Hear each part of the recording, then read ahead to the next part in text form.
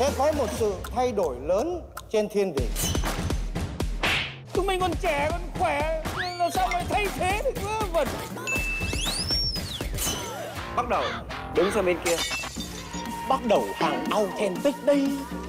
Chỉ một lát nữa thôi chúng ta không làm táo nữa.